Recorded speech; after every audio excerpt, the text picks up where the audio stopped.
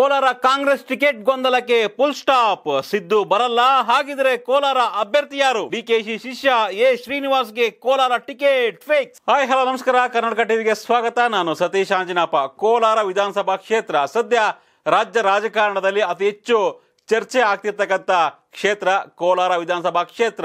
ಯಾರಾಗ್ತಾರೆ ಕಾಂಗ್ರೆಸ್ನ ಅಭ್ಯರ್ಥಿ? ಮಾಜಿ ಸಿಎಂ, ವಿಪಕ್ಷ ನಾಯಕ ಸಿದ್ದರಾಮಯ್ಯನವರು ಕೋಲಾರದಿಂದ ಸ್ಪರ್ಧೆ ಮಾಡ್ತಾರಂತೆ. ಕಾಂಗ್ರೆಸ್ನಿಂದ ಅನ್ನೋ ಒಂದು ಚರ್ಚೆ ಸಾಕಷ್ಟು ದಿನಗಳಿಂದ ಇತ್ತು.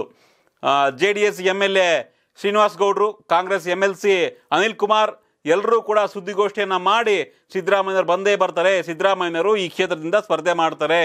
ಕೋಲಾರ ವಿಧಾನಸಭಾ ಕ್ಷೇತ್ರದಿಂದ ಅಂತ ಸುದ್ದಿಗೋಷ್ಠಿ ಮೇಲೆ ಸುದ್ದಿಗೋಷ್ಠಿ ಮಾಡಿದ್ದೇ ಮಾಡಿದ್ದೆ. ಕಾಂಗ್ರೆಸ್ನಲ್ಲಿ ಒಂದಿಷ್ಟು ಗೊಂದಲಗಳನ್ನು ಸೃಷ್ಟಿ ಮಾಡಿದ್ದೇ ಮಾಡಿದ್ದೆ ಜೊತೆಯಲ್ಲೇ. ಸೊ ರಮೇಶ್ ಕುಮಾರ್ ಕೂಡ ಒಮ್ಮೆ ಹೇಳಿದ್ರು ಬಟ್ ಅವರು ಸ್ವಲ್ಪ ಅಂತರವನ್ನು ಕಾಯ್ದುಕೊಂಡಿದ್ದಾರೆ. ಜೊತೆಗೆ ಕೆ ಎಚ್ ಮುನಿಯಪ್ಪ ಅವರ ಟೀಮ್ ಕೂಡ ಇದರಿಂದ ಅಂತರವನ್ನು ಕಾಯ್ದುಕೊಂಡಿದೆ. ಅಲ್ಲಿಗೆ ಸಿದ್ದರಾಮಯ್ಯನವರು ಬರ್ತಾರಾ ಬರಲ್ವಾ ಬರ್ತಾರಾ ಬರಲ್ವಾ? ಈ ರೀತಿಯ ಗೊಂದಲ ಸಾಕಷ್ಟು ದಿನಗಳಿಂದ ಇತ್ತು. ಆದರೆ ಸಿದ್ದರಾಮಯ್ಯನವರಿಗೆ ಒಂದು ಇಂಟರ್ನಲ್ ರಿಪೋರ್ಟ್ ಹೋಗಿದೆ, ಒಂದು ಅವರೊಂದು ಸರ್ವೆ ಹೋಗಿದೆ. ಸೊ ಸಿದ್ದರಾಮಯ್ಯನವರಿಗೆ ಕೋಲಾರ ಕೂಡ ಸೇಫೆಸ್ಟ್ ಕ್ಷೇತ್ರ ಅಲ್ಲ. ಬೇರೆ ಅಭ್ಯರ್ಥಿ ಆದರೆ ಕಾಂಗ್ರೆಸ್ಗೆ ಗೆಲುವು ಸುಲಭ ಆಗ್ಬೋದು. ಆದರೆ ಸಿದ್ದರಾಮಯ್ಯನವರು ಕೋಲಾರಕ್ಕೆ ಬಂದರೆ ಅವರನ್ನು ಸೋಲ್ಸೋದಕ್ಕೆ ಸಾಕಷ್ಟು ಟೀಮ್ಗಳು ಸಾಕಷ್ಟು ಬಣಗಳು ಕಾಂಗ್ರೆಸ್ನಲ್ಲೇ ಕಾಯ್ತಾ ಇದ್ದಾವೆ ಜೊತೆಗೆ J D S B J P ಕೂಡ ಅವರನ್ನು ಸೋಲ್ಸೋದಕ್ಕೆ ಪ್ಲಾನ್ ಮಾಡಿವೆ ಅನ್ನೋ ಒಂದು ರಿಪೋರ್ಟ್ ಹೋದ ತಕ್ಷಣ ಅವರು ಕೋಲಾರಕ್ಕೆ ಬರಲ್ಲ ಅನ್ನೋ ಒಂದು ಸಂದೇಶವನ್ನು ಸ್ಪಷ್ಟವಾಗಿ ನೀಡಿದ್ದಾರೆ ಕೋಲಾರಕ್ಕೆ ಸಿದ್ದರಾಮಯ್ಯನವರು. ಹೋಗ್ತಾ ಇಲ್ಲ. ವರುಣಾ ವಿಧಾನಸಭಾ ಕ್ಷೇತ್ರದಿಂದಲೇ ಸಿದ್ದರಾಮಯ್ಯನವರು ಸ್ಪರ್ಧೆ ಮಾಡ್ತಾ ಇದ್ದಾರೆ. ಹಾಗಿದ್ರೆ ಕೋಲಾರದ ಕಾಂಗ್ರೆಸ್ ಅಭ್ಯರ್ಥಿ ಯಾರು? ಸೊ ಶ್ರೀನಿವಾಸ್ ಗೌಡ್ರಿಗೆ ವಯಸ್ಸಾಯಿತು. ಸದ್ಯ ಇನ್ನು ಜೆ ಡಿ ಎಸ್ನಲ್ಲಿದ್ದಾರೆ ಅವರು ಕಾಂಗ್ರೆಸ್ಗೆ ಬಂದೇ ಬರ್ತಾರೆ. ಆದರೆ ಅವರು ಕಾಂಗ್ರೆಸ್ ಟಿಕೆಟ್ ಸಿಗಲ್ಲ ಅವ್ರಿಗೆ. ಹಾಗಿದ್ರೆ ಯಾರು ಕೊಡ್ತಾರೆ? ಈ ಹಿಂದೆ ಮನೋಹರ್ ಹೆಸರು ಕೇಳಿ ಬರ್ತಾ ಇತ್ತು but Manohar ruled out K G F Babu ಹೋಗಿ ಅಲ್ಲೇನೋ ಸ್ವಲ್ಪ ಚೆಕ್ಕು, ದುಡ್ಡು, ಹಣ, ಗಿಣ ಕೊಟ್ಟು ಫುಲ್ ಹವಾ ಕ್ರಿಯೇಟ್ ಮಾಡಿದ್ರು. ಸ್ವಲ್ಪ ಅಲೆ ಕ್ರಿಯೇಟ್ ಮಾಡಿದ್ರು but D K Shivakumar phone ಮಾಡಿ ಯಾವುದೇ ಕಾರಣಕ್ಕೂ ಕೋಲಾರಕ್ಕೆ ಕಾಲು ಇಡಬೇಡ ಅಂತ ಹೇಳಿದ್ರು. ಅಲ್ಲಿಂದ ಅವರು ಕೋಲಾರ ಕಡೆ ತಿರುಗಿ ಕೂಡ ನೋಡಿಲ್ಲ, ಚಿಕ್ಕಪೇಟೆ ಕಡೆ ಬಂದಿದ್ದಾರೆ. ಹಾಗಿದ್ರೆ ಯಾರಪ್ಪ? ಕೋಲಾರದ ಕಾಂಗ್ರೆಸ್ ಅಭ್ಯರ್ಥಿ ಅನ್ನೋ ಒಂದು ಗೊಂದಲ, ಚರ್ಚೆ ಎಲ್ಲದಕ್ಕೂ ಕೂಡ ಈಗ ಫುಲ್ ಸ್ಟಾಪ್ ಬೀಳುವಂಥ ಟೈಮ್ ಬಂದಿದೆ. ಎ ಶ್ರೀನಿವಾಸ್, ಕೋಲಾರದ ಕಾಂಗ್ರೆಸ್ ಅಭ್ಯರ್ಥಿ ಆಗೋದು ಬಹುತೇಕ ಫಿಕ್ಸ್ ಆಗಿದೆ. ಈಗಾಗಲೇ ಡಿ ಕೆ ಶಿವಕುಮಾರ್ ಅವರಿಗೆ ಅರ್ಜಿಯನ್ನು ಹಾಕುವಂತೆ ಸೂಚನೆಯನ್ನು ಕೊಟ್ಟಿದ್ದಾರೆ. ಏನು ನವೆಂಬರ್ ಐದನೇ ತಾರೀಕಿಂದ ಕಾಂಗ್ರೆಸ್ನಲ್ಲಿ ಟಿಕೆಟ್ ಆಕಾಂಕ್ಷಿಗಳ ಅರ್ಜಿ ಹಾಕ್ತಾ ಇದ್ದಾರೆ. ಸೊ ಎ ಶ್ರೀನಿವಾಸ್ಗೆ ಅರ್ಜಿ ಹಾಕುವಂತೆ ಡಿ ಕೆ ಶಿವಕುಮಾರ್ ಹೇಳಿದ್ದಾರೆ. ಹೀಗಾಗಿ ಅವರು ಐದನೇ ತಾರೀಕು ನಂತರ ಕೋಲಾರ ವಿಧಾನಸಭಾ ಕ್ಷೇತ್ರಕ್ಕೆ ಕಾಂಗ್ರೆಸ್ ಅಭ್ಯರ್ಥಿಯಾಗಿ ಅರ್ಜಿಯನ್ನು ಹಾಕ್ತಾ ಇದ್ದಾರೆ. ಸೊ ಸದ್ಯ ಸಿದ್ದರಾಮಯ್ಯವರು ಬರಲ್ಲ ಅಂತ ಕನ್ಫರ್ಮ್ ಆದ ತಕ್ಷಣ ಯಾರೂ ಕೂಡ ಈಗ ಕ್ಷೇತ್ರದಲ್ಲಿ ಕಾಂಗ್ರೆಸ್ ಅಭ್ಯರ್ಥಿಗಳು ಉಳ್ಕೊಂಡಿಲ್ಲ. ಈ ಹಿಂದೆ ತುಂಬ ಜನ, ಒಂದು ಹತ್ತು ಜನ ಇದ್ರು. ನಾನು ಕೂಡ ಕೋಲಾರ ವಿಧಾನಸಭಾ ಕ್ಷೇತ್ರದ ಟಿಕೆಟ್ ಆಕಾಂಕ್ಷೆಯಿಂದ ತುಂಬ ಜನ ಬರ್ತಾ ಇದ್ರು. ಕಳೆದ ಆರು ತಿಂಗಳನ್ನ ಒಬ್ಬೊಬ್ಬರಾಗೆ ಖಾಲಿಯಾದರು. ಸೊ ಈಗ ಉಳ್ಕೊಂಡಿರೋದು ಎ ಶ್ರೀನಿವಾಸ್ ಮಾತ್ರ. ಯಾರಪ್ಪ ಈ ಎ ಶ್ರೀನಿವಾಸ್ ಅಂದರೆ? ಸೊ ಕಾಂಗ್ರೆಸ್ ಪಕ್ಷದಲ್ಲಿ ಸಾಕಷ್ಟು ವರ್ಷಗಳಿಂದ ದುಡಿದಿದ್ದಾರೆ. ಗ್ರಾಮ ಪಂಚಾಯಿತಿಯಿಂದ ಹಿಡಿದು ಈಗ ವಿಧಾನ ಸಭೆಗೆ ಬರ್ತಾ ಇದ್ದಾರೆ. ಗ್ರಾಮ ಪಂಚಾಯಿತಿಯ ಅಧ್ಯಕ್ಷರಾಗಿದ್ದರು ತಾಲೂಕ್ ಪಂಚಾಯಿತಿಯ ಮೆಂಬರ್ ಆಗಿದ್ದರು ಜಿಲ್ಲಾ ಪಂಚಾಯಿತಿಯ ಮೆಂಬರ್ ಆಗಿದ್ದರು ಸೊ ಎಸ್ಪೆಷಲಿ ಇವರು ಎರಡು ಸಾವಿರದ ಹದಿನೆಂಟರಲ್ಲೇ ಟಿಕೆಟ್ ಕೇಳಿದರು ಮಾದರು ವಿಧಾನಸಭಾ ಕ್ಷೇತ್ರದಿಂದ.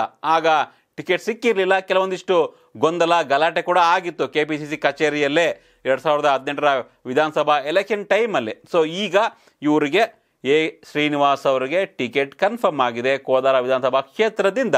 ಸೊ ಟೇಕಲ್ನ ರಾಜೇನಹಳ್ಳಿ, ಅಂದರೆ ಮಾಲೂರು ತಾಲೂಕಿನ ಟೇಕಲ್ ಏನು ಬರುತ್ತೆ? ಅಲ್ಲಿನ ರಾಜೇನಹಳ್ಳಿಯವರು ಸೊ ಕೋಲಾರ ಜಿಲ್ಲೆಯವರು ಸ್ಥಳೀಯರು. ಸೊ ಹೀಗಾಗಿ ಇವರಿಗೆ ಟಿಕೆಟ್ ಕೊಡೋದಕ್ಕೆ ಈಗ ಡಿ ಕೆ ಶಿವಕುಮಾರ್ ಮತ್ತು ಕಾಂಗ್ರೆಸ್ ಪಕ್ಷ ಒಪ್ಕೊಂಡಿದೆ.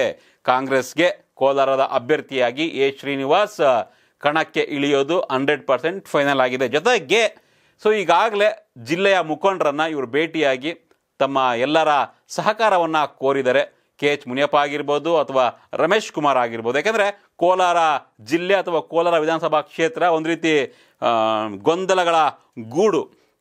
ಅವರನ್ನು ಸೋಲ್ಸೋದಕ್ಕೆ, ಇವರು ಇವರನ್ನು ಸೋಲ್ಸೋದಕ್ಕೆ ಅವರೇ ಕಷ್ಟಪಡ್ತಾ ಇರ್ತಾರೆ.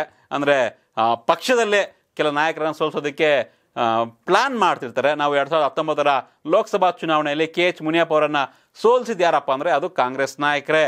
ಅದು ಎಲ್ಲರಿಗೂ ಗೊತ್ತಿರತಕ್ಕಂಥ ಸತ್ಯನೂ ಕೂಡ ಹೌದು. ಹೀಗಾಗಿ ಕಾಂಗ್ರೆಸ್ನಲ್ಲೇ ತುಂಬ ಬಣಗಳಿದ್ದಾವೆ Ramesh Kumar team, K H Muniyappa team, ಈಗ ಶ್ರೀನಿವಾಸ್ ಗೌಡ ಅವರು ಜೆ ಡಿ ಎಸ್ನಿಂದ ಕಾಂಗ್ರೆಸ್ ಬರ್ತಾ ಇದ್ದಾರೆ ಈಗ ಅವ್ರದ್ದೊಂದು ಟೀಮ್, ಮಹಾಗಠಬಂಧನ್. ಹೀಗೆ ಸಾಕಷ್ಟು ಟೀಮ್ಗಳಿರೋದ್ರಿಂದ ಎಲ್ಲರನ್ನು ಕೂಡ ಸಂಭಾಳಿಸ್ಕೊಂಡು ಹೋಗಬೇಕಾದಂಥ ಅನಿವಾರ್ಯತೆ, ಅವಶ್ಯಕತೆ ಕೂಡ ಇದೆ. ಸೊ, ಆ ಕೆಲಸವನ್ನು ನೂತನ ಅಭ್ಯರ್ಥಿ ಎ ಶ್ರೀನಿವಾಸ್ ಮಾಡ್ತಾ ಇದ್ದಾರೆ ಈಗಾಗಲೇ ಕೆಲವೊಂದಿಷ್ಟು ಜಿಲ್ಲೆಯ ಮುಖಂಡರನ್ನ, ಕ್ಷೇತ್ರದ ಮುಖಂಡರನ್ನ ಭೇಟಿಯಾಗಿ ಅವ್ರ ಜೊತೆ ಚರ್ಚೆ ನಡೆಸಿ ಸೊ ಅವರ ಒಂದು ಅಭಿಪ್ರಾಯವನ್ನು ಕೂಡ ಸಂಗ್ರಹಿಸಿ, ಒಟ್ಟಾಗಿ ಕೆಲಸ ಮಾಡೋದಾದರೆ ನಾನು ಅಭ್ಯರ್ಥಿ ಆಗ್ತೇನೆ ಅನ್ನೋ ಒಂದು ಮಾತನ್ನು ಕೂಡ ಆಡಿದ್ದಾರಂತೆ. ಸೊ ಕೋಲಾರ ಪತ್ರಕರ್ತರ ವಲಯದಲ್ಲಿ ಈಗ ಚರ್ಚೆ ಆಗ್ತಾ ಇದೆ. ಎ ಶ್ರೀನಿವಾಸ್ ಅವರ ಹೆಸರು.